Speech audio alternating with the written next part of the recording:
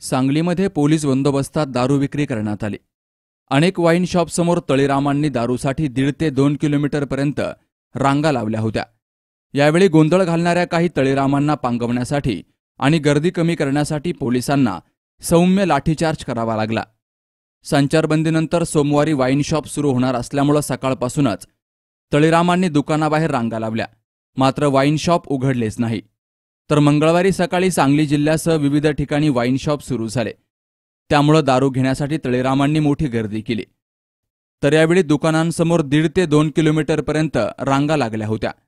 मात्र wine shop चालकांनी कोणताही अनुचित प्रकार घडू नये म्हणून पोलीस बंदोबस्तामध्ये दारू विक्री केली. यावेळी गोंधळ घालणाऱ्या काही तळेरामांना पोलिसांनी लाठीचा प्रसाद देऊन पांगवण्याचा प्रयत्न केला. तरीही गर्दी कमी होत नसल्यामुळं पोलिसांनी सौम्य लाठीचार्ज केला. त्यानंतर मात्र तळीरामांनी तेथून पळ काढला.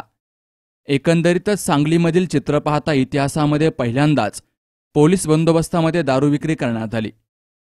एरवी भाजी अथवा औषधं खरेदीसाठी इतकी गर्दी नाही एवढी गर्दी दारू खरेदीसाठी झाल्यानं आश्चर्य व्यक्त झालं.